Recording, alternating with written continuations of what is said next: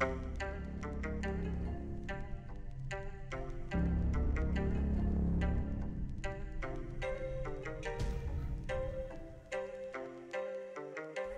Yo, so how's it going guys? Welcome back to another GTA 5 video. So in today's video I'm going to be showing you guys 5 awesome glitches and tricks currently working in GTA 5 Online after the nightclub DLC. And as always, these 5 glitches are very different from one another, so if you guys do enjoy this video and you would like to see me post more videos like this in the future, all I ask is you drop a like down below and feel free to subscribe as I do post daily GTA 5 videos. Without further ado, let's get into the video. Okay, so coming in for the very first glitch, and this is a completely random but awesome glitch to do with the brand new Oppressor Mark II. And this glitch will basically allow you guys to drive upside down whilst on your Oppressor. So all you guys want to do is find any ledge that basically has a rooftop service. A perfect little spot is this little walkway right here on the storm drain. As you guys can see, just want to drive on the top bit and drive very slowly over the edge and boom! you should notice your character's bike will start driving upside down. Definitely feels very weird when you're trying to drive your bike upside down. So I would definitely go ahead and try this glitch out and show your friends, invite them over. I guarantee they'll have no idea how you're driving upside down on the new oppressor.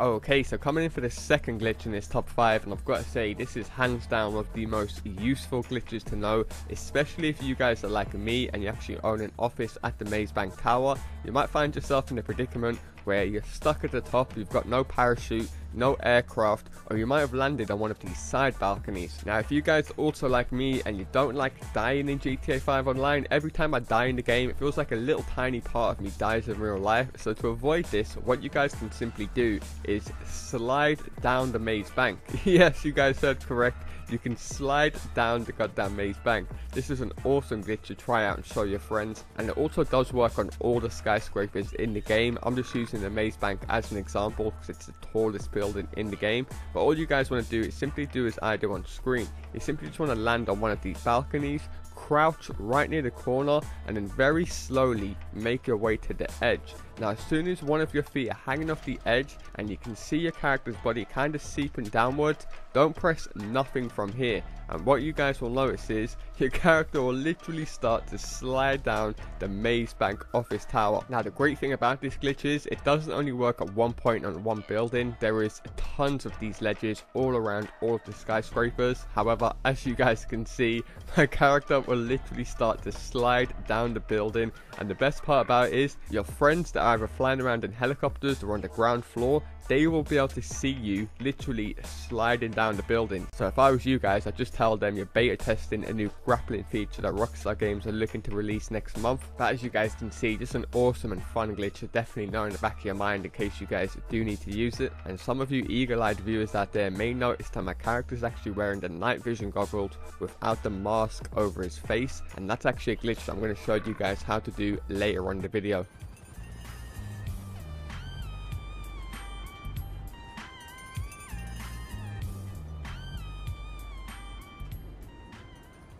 However, moving into the third glitch in this video, and you guys know me by now, what would the top 5 glitches and tricks compilation be without me showing you guys a secret hiding spot, location or wall breach that you guys can use to avoid the cops or troll some of your friends. So all you guys want to do is make your way to this location on the map. As you guys can see, it's in between the beach, the pier and the airport, so an extremely popular location. It's actually right next to the helipads in LS. However, once you guys arrive at the location, you just want to locate these rocks and then look for this little gap in between all of the rock and just try and position your character so he's standing in this hole and you guys will notice he'll start to buckle and trip over himself and then out of nowhere he's just slung underneath the map underneath the beach the rocks the road. There is tons of different areas that you guys can go ahead and explore underneath the map at this area. However the best part about this wall breach for me is the fact that no one will be able to kill you whilst you're in here. And just to prove so as you guys can see I do go ahead and get a 5 5 star most wanted and not one single police officer can shoot me with a single bullet. And of course, because you're underground, if any online players try and shoot any RPGs at you at the ground, they're literally just going to blow themselves up. So an awesome hiding spot for you guys to know. And if you guys would like to know how to wall breach inside of any other building in GTA 5 Online, leave a comment down below of the building and I'll link you straight to the video.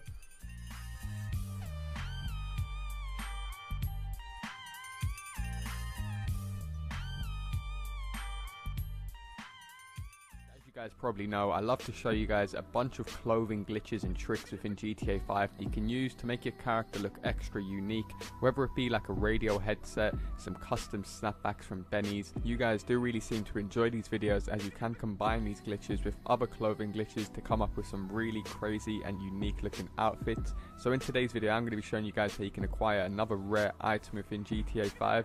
I'm pretty sure you guys are aware of the night vision goggles as you guys can see on screen now. Whenever you apply these goggles you get this big mask over your face and it's really hard to combine this with any other outfits as let's be honest here it doesn't look that great with this big mask over your face. So in today's video I'm actually going to be showing you guys how you can remove the mask and keep the night vision goggles which in my personal opinion looks so much more better without the mask on. And you will also be able to combine other accessories such as chains, earrings, hats, even put sunglasses over the night vision glasses which will just make your character look insanely crazy Okay, so this glitch right here is extremely easy to do. I guarantee 100% of you guys will be able to do this straight away.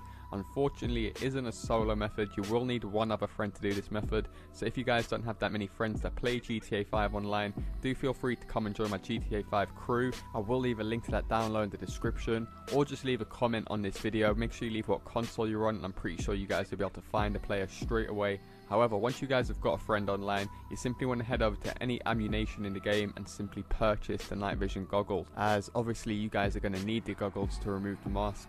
Now, once you guys are wearing the goggles, you simply want to head over to any hairdressers within the game. Now, once you guys arrive at the hairdressers, you want to have the goggles equipped on your character. You want to pull up your interaction menu and simply enable passive mode. Now, once you guys are in passive mode, you want to head inside the barber shop, press right on the D-pad you take a seat in the barber's chair. Now, from here you don't have to get a haircut just sit in this animation for about 10 to 15 seconds now once 10 to 15 seconds passes by in the game as you guys can see I'm slightly forward in this gameplay. You just want to press start go across to online go down to options and then disable passive mode now once you guys disable passive mode you want to get your friend to stand at the door of the barbershop pull out a gun and simply shoot you in the head so as you boys can see on screen now I've just disabled passive mode my friend is standing at the door because you won't be able to get a gun out inside of the shop. That's why he needs to stand at the door. Make sure he doesn't shoot a bullet until you are off passive mode as it will close down the barber shop and it might not work. He should be able to tell straight away when you're off passive mode anyway because your body is usually invisible when you're on passive mode.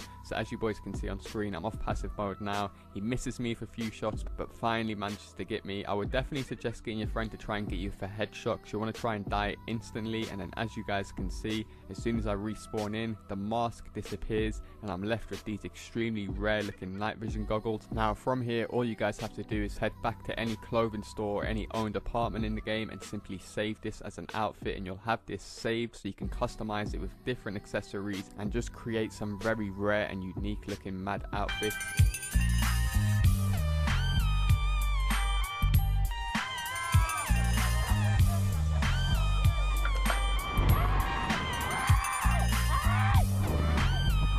Live on Khalid single bound.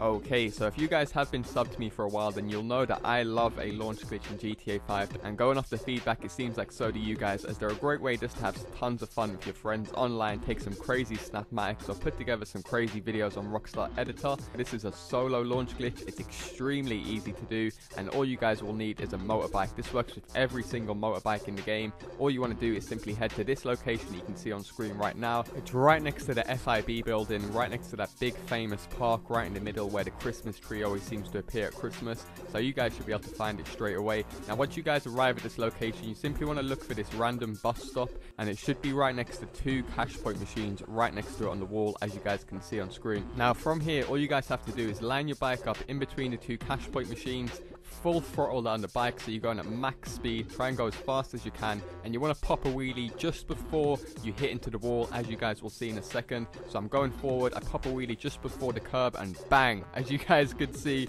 my character gets launched straight into the sky. Pretty much the same height as the building which is just insane. It's very easy to do and like I said it might take a few goes getting used to it but once you guys know when to pop the wheelie and you get the right speed you'll do this no problem I'm about to show you guys I repeat it maybe 8 10 times Here's a video of my friend even doing it to prove that we was both able to do this very easily and as you guys can see during the daylight so you guys can see more clearly where you have to drive into. Now one of the great things about this launch glitch you don't have to drive into one specific spot. You're about to see my friend drives into the bush this time and it still works. So this whole entire wall is just glitched out and I don't know why but it launches your character hundreds even thousands of feet in the air sometimes. Completely random and crazy. I'm sure you guys will be able to have tons of fun doing this with your friends online. So as you guys can see this time he's not driving into the bush, he's going more towards the concrete door, and bang, he gets sent into the sky like a plane. So there you go, guys, an extremely easy and fun launch glitch I'm sure you guys will be able to have tons of fun with. If you guys have enjoyed this video, all I ask is you drop a like down below. Feel free to subscribe. Also, do feel free to check out some of my other launch glitches. I've literally covered probably the most launch glitches on YouTube. I'm not going to lie, I have